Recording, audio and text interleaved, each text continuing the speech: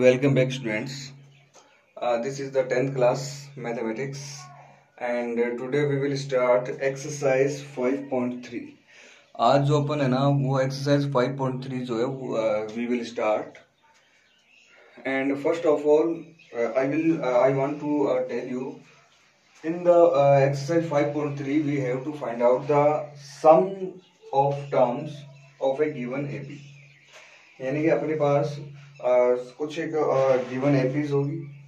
We will have APs and we are asked to find sum of sum of terms यानी कि उस AP की जो terms है उसका अपने क्या फाइंड करना है? स्टूडेंट्स सम फाइंड करना सो so, सबसे पहले अपन बात करते हैं सम का फॉर्मूला क्या होगा। जैसे मान लो सपोज़ करो सम का मतलब क्या है यहाँ पे? सपोज़ करो आपके पास एक एपी है four eight twelve sum means आप है ना इसकी टर्म्स का क्या कर दो? सम कर दो। जैसे मान लो मैं लिख देता हूँ एस टू यानी कि आपको ओनली स्टार्टिंग की जो टू टर्म्स है स्टार्टिंग की जो टू टर्म्स है, उस टर्म्स का अपने को क्या करना है? सम फाइंड करना है। तो एस टू लिखने का मतलब हो गया you have to find the sum four and eight eight and four it will be twelve इस तरीके से स्टूडेंट्स अपने को सम फाइंड करना है। अब सपोज़ दैट आपको मैंने टू टर्म्स दी। अब अगर मैं आपसे कह दूँ suppose I ask you find eight twenty यानी कि आप a four eight twelve sixteen ऐसे करते करते इसके ट्वेंटी टर्म्स जो है, उसका सम फाइंड करना है। So now this is very difficult to find the sum of twenty terms of this AP with या by direct method in direct method से अपने को directly we can't add them we are unable to find sum of this given terms so what we have to do so we need a formula to find the sum of to find the sum of terms of given AP यानी AP जो है, उसके सम find करने का अपने पास क्या चाहिए? एक फॉर्मूला चाहिए। चलो फॉर्मूला अपन स्टार्ट करते हैं। सपोज़ दैट आपके पास एक एपी इस तरीके से गिवन है। यू है मान लो ए वन फिर ए टू ए थ्री ऐसे करते करते लास्ट टर्म क्या है आपकी? ए एन लास्ट टर्म क्या है? ए एन है। N the value of n is one two three four five six and so तो यहाँ पे मैंने लास्ट टर्म क्या लिख दिया? एन एन की कुछ भी हो सकती है वैल्यू फाइव भी हो सकता है। It may be six two one ten one thousand hundred कुछ भी। तो इस तरीके से अपन ने एक ए पी एज्यूम कर ली। A one a two a three dot dot dot a अच्छा एन का एक फॉर्मूला भी शायद आपको पता होगा। लास्ट एक्सरसाइज में अपन ने किया था। एन का जो स्टूडेंट्स फॉर्मूला है, वो होता है a plus n minus one d this is the formula to find nth term of a given AP तो अपन इस एपी को इस तरीके से भी लिख सकते हैं। A one, a two, a three, dot dot dot, a plus n minus one d. We can write it and after doing this अब देखो, मान लो इस एपी को थोड़ा सा और अपन चेंज करते हैं। देखो, कोई भी एपी हो, उसकी फ़र्स्ट टर्म को मैंने आपको बताया था कि उस फ़र्स्ट टर्म को आप चाहे ए वन बोल दो, चाहे आप फ़र्स्ट टर्म को ए बोल दो। चाहे आप फ़र्स्ट टर्म को ए वन कहो, चाहे फ़र्स्ट टर्म को आप ए कह दो कोई प्रॉब्लम नहीं है there is no problem so यहाँ पे जो ए वन है this is a one suppose करो ये ए वन किसके इक्वल है? A k. अच्छा सेकेंड टर्म सेकेंड टर्म अपन कैसे लिखते थे? कि एपी के अंदर अपन डी जो है डी यानी कि कॉमन डिफरेंस डी आपको हर एक टर्म में ऐड करना है. You have to add d in each term तो जैसे ए है तो सेकेंड टर्म क्या हो सकती है आपकी? A plus b third term क्या हो सकती है? A plus two d and ऐसे करते हैं लास्ट टर्म ये आपकी है a plus n minus one d तो मान लेते स्टूडेंट्स ये अपने पास कोई गिवन एपी है a a plus d a plus two d and dot dot a plus n minus one d this is the given AP आपको ना इस एपी का सम फाइंड करना है। You have to you have to add all terms यानी कि इस तरीके से। मान लो ये कितनी टर्म्स है total small n terms how many terms are there small n तो मैंने लिख दिया ऐसे, और आपको इन सबको क्या करना है? एड करना है।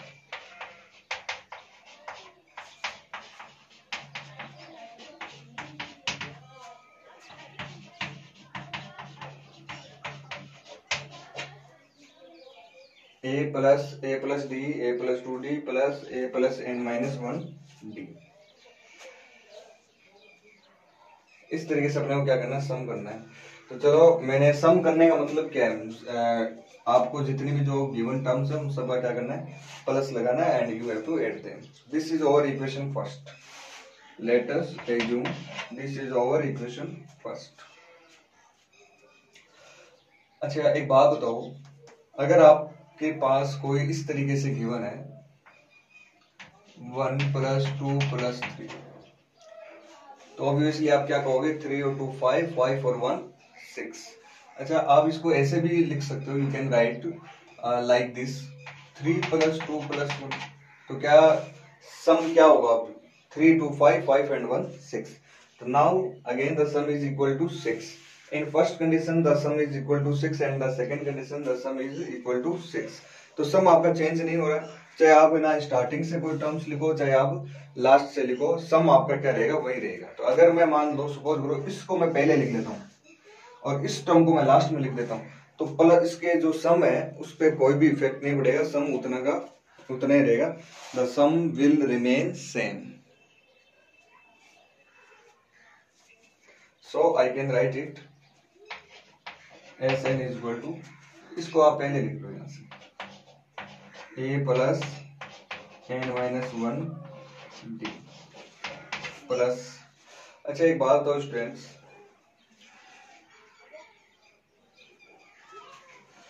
कि आपका होता यह है कि जैसे जैसे आप आगे बढ़ते हो जैसे जैसे आप आगे बढ़ते हो आपका ना, जैसे यहाँ पे वन डी हुआ, फिर two sorry one d a फिर टू डी है फिर थ्री डी है ये वन वन क्या हो रहा है? इंक्रीज हो रहा है। लेकिन आप अगर पीछे आओगे, अगर आप पीछे आओगे तो वन क्या करना पड़ेगा? डिक्रीज एक बार फिर से सुनना। जब आप इस तरीके से आगे बढ़ते हो तो वन क्या होता रहता है? आपका इंक्रीज होता है। और अगर आप पीछे आओगे तो वन क्या होगा? आपका डिक्रीज जैसे कि यहाँ पे एन माइनस वन है तो एन माइनस वन है। अब आपसे मैं कहूँ कि स्टूडेंट्स एन माइनस वन में से आप वन डिक्रीज करो, यानी वन इसमें से कम कर दो। तो आप वन कम कैसे करने? जैसे आपके पास फाइव है। आपसे मैं कहता हूँ कि आप ही बच्चों इसमें से वन कम कर दो, आप वन लेस करो। तो क्या करोगे आप? फाइव माइनस वन यानी क्या? फोर ऐसे तो करते हैं। वही सेम कंडीशन स्टूडेंट्स यहाँ पे। एन माइनस वन अगर आपके पास है, अगर आपसे मैं कहता हूँ इसमें से वन माइनस करो तो आप क्या करोगे? माइनस वन करोगे। Minus one and minus one क्या हो जाएगा? माइनस यानी कि इससे जस्ट पहले वाली जो टर्म है, वो क्या होगी? एन माइनस टू होगी।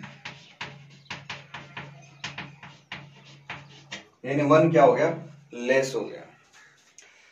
तो स्टूडेंट जैसे मान लो, मैंने लास्ट टर्म आपकी मैंने सपोज़ करो ये लिख दी थी, इससे बाद में मैं टर्म ना ये लिख सकता हूँ।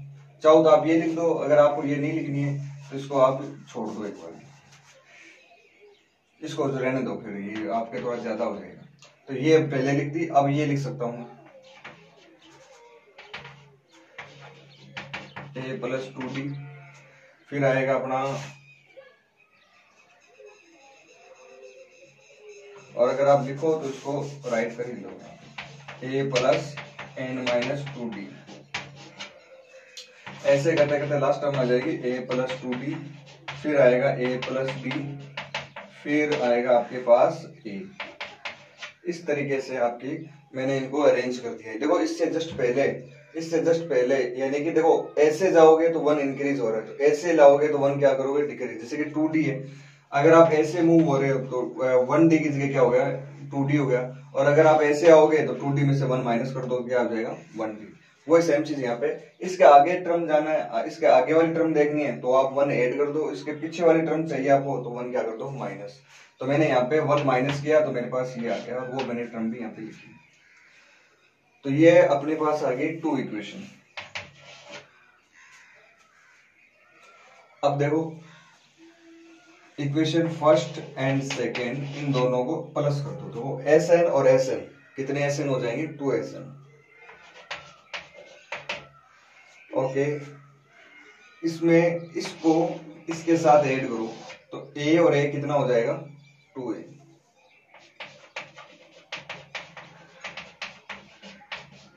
ठीक है? ओके नाउ अब आप ना ए प्लस डी को इसके साथ ऐड करो। इन दोनों।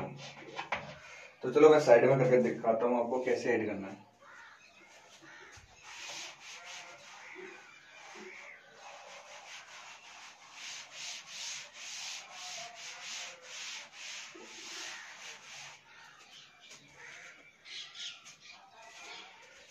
मुझे ऐड करना है ए प्लस डी और a plus n minus two d a plus d को ऐड करो। A plus n minus two and d a plus d plus a d का मल्टीप्लाई करो। एन डी माइनस का टू डी डी का मैंने इन दोनों के साथ अंदर मल्टीप्लाई कर दिया। ए और a two a okay d अच्छा एन डी को लिख लेते हैं पहले। अच्छा ये प्लस का डी और यहाँ पे माइनस का टू डी तो माइनस का क्या बच जाएगा? डी डी वापस कॉमन ले लो। डी यहाँ बाहर कॉमन लोगे तो अंदर क्या बचेगा? एन माइनस वन इस डी को आप मल्टीप्लाई में तो इसको आप इधर भी राइट कर सकते हो। तो स्टूडेंट क्या आ गया हमारे पास? Two a plus n minus one d two a plus n minus one ऐसे करते करते लास्ट वाली टर्म इस ऊपर वाली इक्वेशन के लास्ट टर्म क्या है? ये और नीचे वाली के लास्ट टर्म क्या है? ये। इन दोनों को प्लस करोगे तो ए और ए क्या आ जाएगा? टू ए आ जाएगा। Two a plus n minus one तो यानी कि फ़र्स्ट और सेकेंड को सम करने पे मेरे पास ये बन रहा है। चलो इसको मैं यहाँ लिख लेता हूँ, फिर इसको अपन आगे सोल्व करते हैं।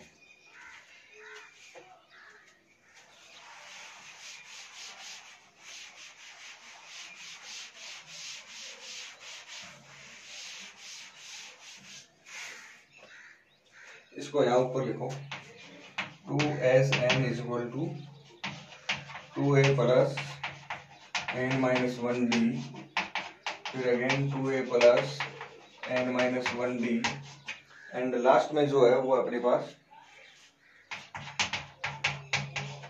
two a plus n minus one d ये आ गया। अब देखो ये ये लास्ट वाली टर्म ये सारे क्या सेम है या नहीं है? है ना सेम तो एक काम करते हैं, अपन कॉमन ले लेते हैं। ये पूरे को, इस पूरे को क्या ले लेते हैं बाहर?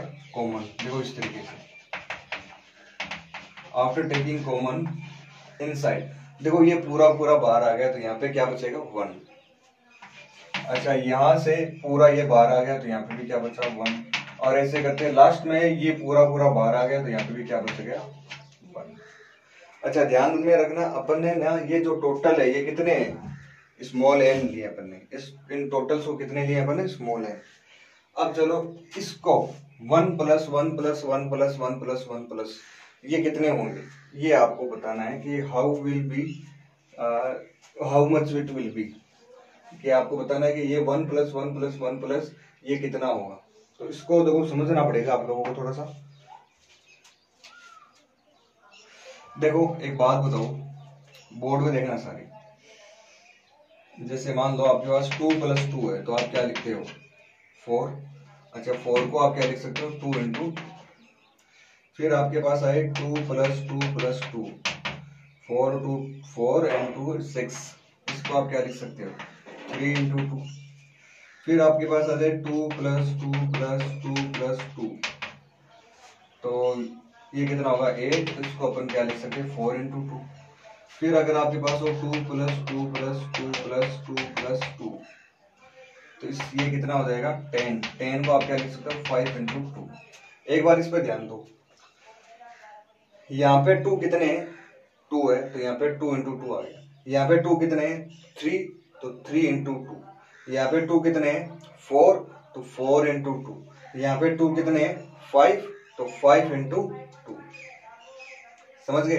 वैसे अगर आपको मैं कह दू four plus four plus four plus four plus four चलो इसका सम करो तो आप क्या बताओगे? कि पहले तो काउंट कर लो, ये फोर कितने हैं? तो one two three four five four कितने फाइव तो पहले लिखो आप फाइव अच्छा है क्या इसमें सेम सेम क्या है? फोर ही तो है। तो फाइव इंटू फोर ऐसे अपन लिख सकते हैं। तो फाइव फोर जा ट्वेंटी आप इन चाहो तो इन सबको ऐड करके देख लो, क्या आएगा? ट्वेंटी अब जैसे मान लो आपके पास है six plus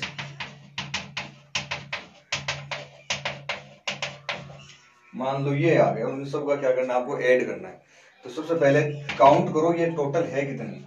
One two three four five six seven eight eight अच्छा ये सिक्स सिक्स ही तो चल रहा है। तो एट इंटू सिक्स तो एट सिक्स है फोर्टी एट तो इन सब का सम क्या होगा? फोर्टी एट वही सेम चीज़ स्टूडेंट यही सेम चीज़ मैं यहाँ पे अप्लाई करूँगा।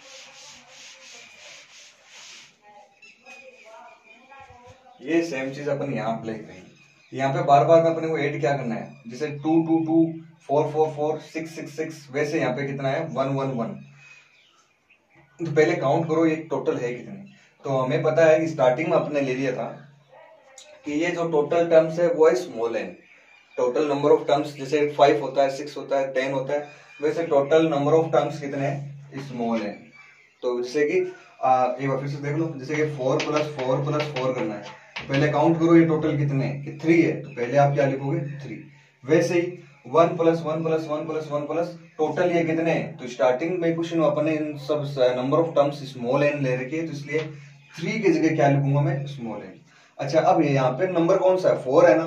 तो मैं यहाँ पे क्या करूँगा? Three into four but here I have one यहाँ पे क्या अपने पास? वन है.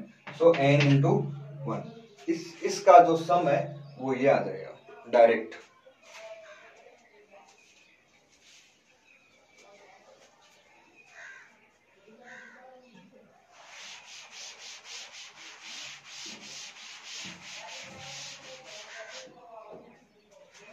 तो ये आ जाएगा एन इंटू वन और साथ में ये है two a plus n minus one d और इधर क्या आपके पास? Two s n n into one n इस एन को अपन यहाँ लिख लो। N two a plus n minus one d two multiply में ये कहाँ चला जाएगा? डिवाइड में।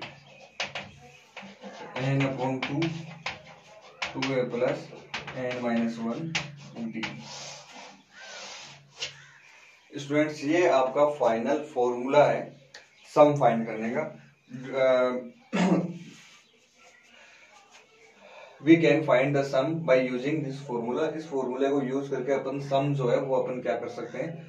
फाइंड कर सकते हैं। According to this formula it is given that s n is equal to n upon two and two a plus n minus one d ये फॉर्मूला स्टूडेंट्स आपको याद रखना है। चलो इस फॉर्मूले के अपन इस फॉर्मूले के साथ और देख, दे, देखते हैं क्या कर सकते हैं। S n is equal to n upon two two a plus n minus one d देखो two a two a two a को लिख सकते हो आप ए प्लस ए सर ये याद होगा और ये किसका फॉर्मूला बन रहा है? A plus n minus one d ये तो ए एन का फॉर्मूला है।